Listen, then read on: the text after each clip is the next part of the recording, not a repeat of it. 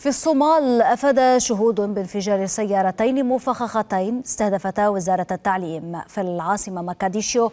وأدى الهجوم الذي وقع في منطقة ذات حركة مرور كثيفة تضم مكاتب حكومية رئيسة أدى إلى سقوط قتلى إضافة لأضرار مادية في الممتلكات والمباني القريبة.